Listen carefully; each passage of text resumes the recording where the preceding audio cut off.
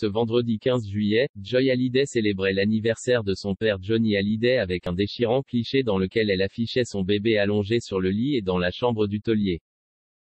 Les années passent mais le deuil est toujours aussi dur. Malheureusement, il le sera tout au long de sa vie.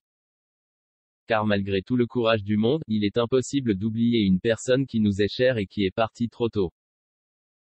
Laetitia Hallyday et ses filles Jade et Joy, Laura Smet et David Hallyday, ainsi que le reste de la famille de Johnny Hallyday sont sans doute les mieux placés pour le confirmer.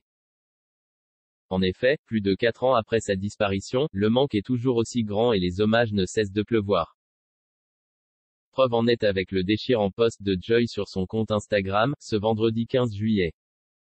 Mais la sœur de Jade n'hésite pas non plus à pousser des coups de gueule lorsque l'envie lui prend. La raison, le fait qu'on lui attribue des fausses rumeurs qui l'agacent au plus haut point.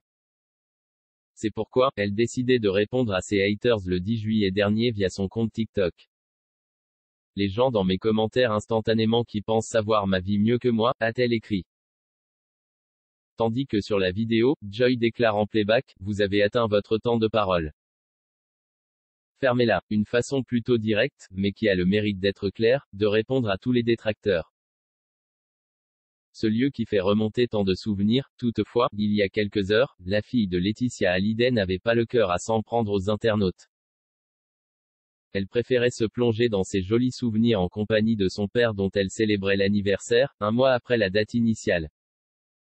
Pour lui rendre hommage, elle partageait une série de clichés dont une de son chien Santos, allongé dans un lieu très spécial pour elle. Bébé Santos dans la chambre de papa, sur le lit de papa, était-il écrit en légende du cliché? Dans les stories suivantes, Joy Hallyday partageait également la une de Paris Match dans laquelle Johnny Hallyday apparaissait sur sa moto, devant sa résidence de Marne-la-Coquette. Des publications déchirantes, qui n'ont sans doute pas manqué d'émouvoir au plus haut point la jeune fille.